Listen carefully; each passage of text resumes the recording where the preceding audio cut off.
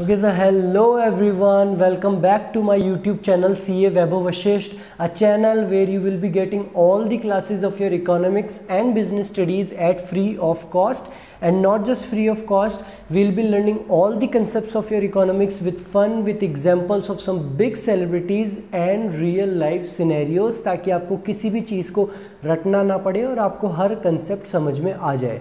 सो so, students हमने देखा था नेशनल इनकम कैलकुलेट करने के तीन मेथड थे। First was value added method then your income method then expenditure method value added method क्या है? उसकी प्रिकॉशंस क्या है? वो हम ऑलरेडी देख के आ चुके हैं एक सेपरेट क्लास में। उसके बाद में हमने इनकम मेथड से स्टार्ट किया था और हमने देखा था कि हम इनकम मेथड में कौन सी इनकम लेंगे?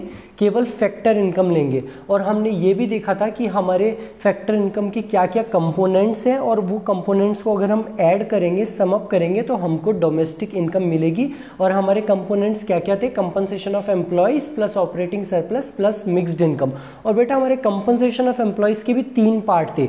Wages and salary in cash in kind और सोशल सिक्योरिटी कंट्रीब्यूशन और सोशल सिक्योरिटी कंट्रीब्यूशन कौन सा वाला? केवल एम्प्लॉयर वाला। और केवल एम्प्लॉयर वाला क्यों? वो भी हमने डिटेल में समझा था कि केवल एम्प्लॉयर का कंट्रीब्यूशन हम क्यों लेंगे। तीसरी चीज़, हमारे ऑपरेटिंग सरप्लस किन तीन चीज़ से बनता है?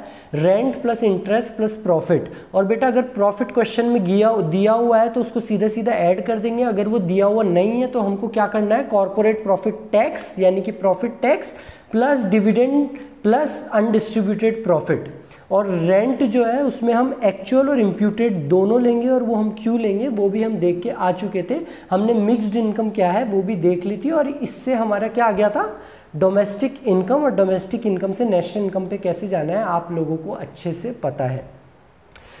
फिर मैंने आपको बताया था कि हम इस क्लास के बाद में हम देखेंगे हमारी प्रिकॉशंस इनकम मेथड की। So without wasting any more time let's just get started with today's class that is precautions of income method और बेटा, मैं बता दूँ, आज की क्लास हमारी बहुत इजी होने वाली है, क्योंकि अब से पहले तक हमने जो भी मेहनत करी है, जो भी कंसेप्ट समझे हैं आदि इनफैक्ट 60 टू 70 परसेंट कंसेप्ट तो इसमें वही काम आने वाले हैं। तो आज की आपकी क्लास बहुत ईजी होने वाली है।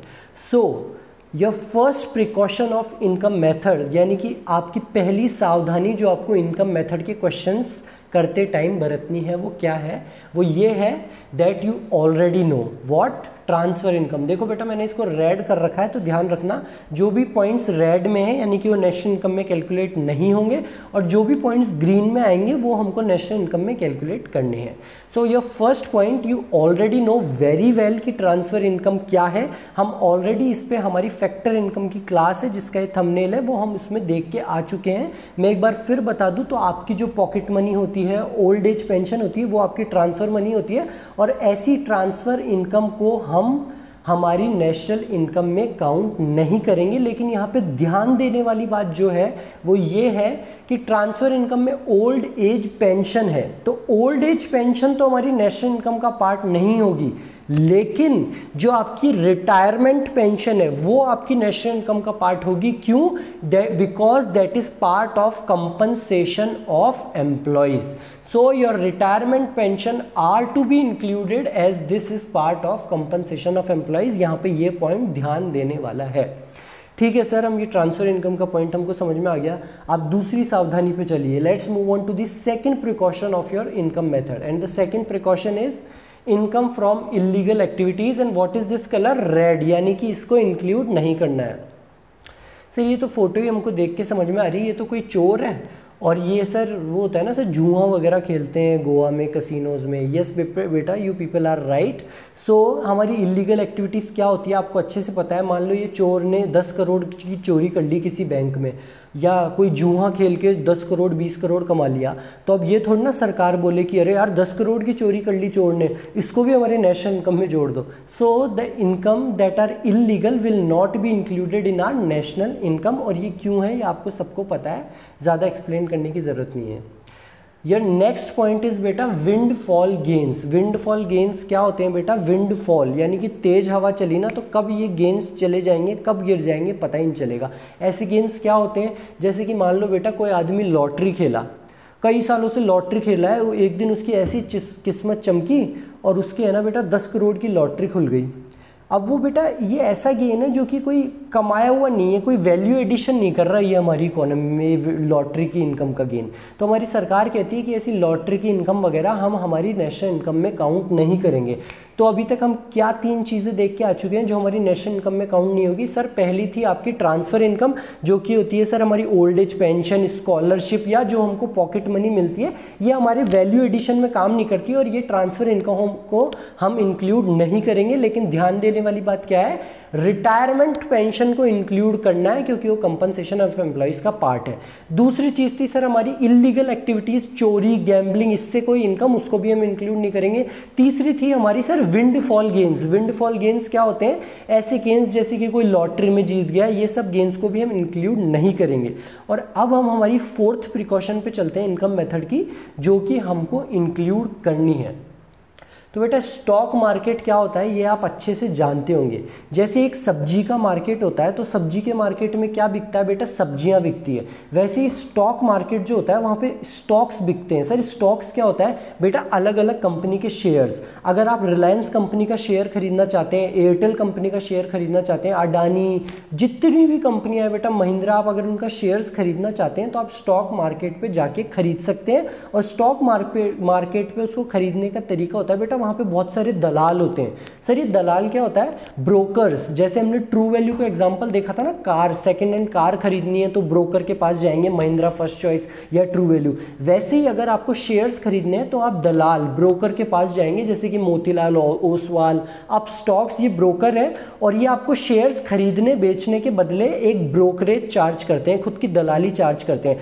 तो बेटा, जो दलाली, जो ब्रोकरेज, वो ब्रोकर्स चार्ज करेंगे हमारे शेयर्स की खरीद और बेच पे, वो हमारी नेशनल इनकम का पार्ट होगी that will be included in the national income of India ये कलर क्या है? ग्रीन यानी कि क्या होगी? इंक्लूड होगी. ब्रोकरेज ऑन सेल और purchase of shares and bond is to be included fifth हमारी फिफ्थ प्रिकॉशन क्या है? ये भी ग्रीन में है, यानी कि ये भी इंक्लूड करना है। और ये आप अच्छे से जानते हो बेटा, हम बहुत अच्छे से देख के आ चुके हैं। और ये हम कहाँ पे देख के आए थे, ये वाला point sir precaution of value added method वाली क्लास में। बेटा, वहाँ पे हमने देखा था कि सेकेंड हैंड गुड्स की सेल और परचेज तो हमारी नेशनल इनकम में नहीं आएगी। लेकिन मैंने वहाँ पर एग्ज़ाम्पल दिया था ट्रू वैल्यू का। ये इको कार बिकी थी तीन लाख में। और ये तीन लाख को इसको बेचने के बदले में ट्रू वैल्यू ने भी पंद्रह हज़ार का कमीशन खाया था। और हमने वहाँ पे क्या देखा था कि सेकेंड हैंड गुड्स तो नहीं आएँगे, लेकिन जो कमीशन जो दलाली, ये true value Mahindra first choice जो खा रहे वो हमारी नेशनल इनकम का पार्ट होगी। और ये पॉइंट वही है।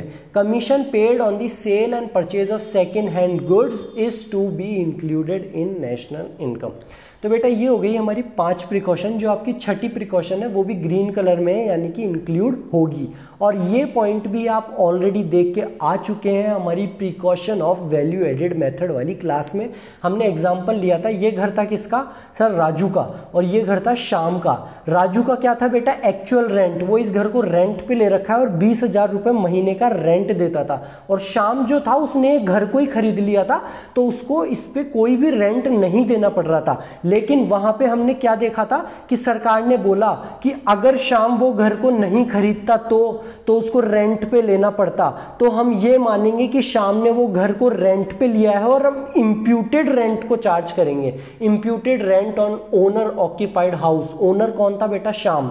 ये भी पॉइंट हम ऑलरेडी देख के आ चुके हैं, जो वापस से हमारे इनकम मेथड की प्रिकॉशन में रिपीट हुआ है।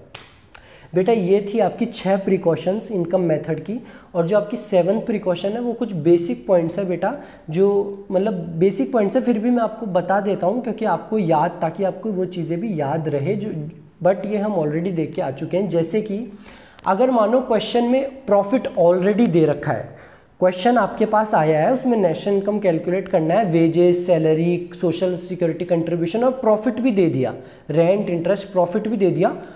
प्रॉफिट के अलावा भी बेटा आपको डिविडेंड और अनडिस्ट्रीब्यूटेड प्रॉफिट दे रखा है तो आपको यहाँ पे ध्यान देना है, जो मैं ऑलरेडी बता चुका हूँ कि प्रॉफिट अगर क्वेश्चन में ऑलरेडी गिवन है तो उसको सीधा ले लो।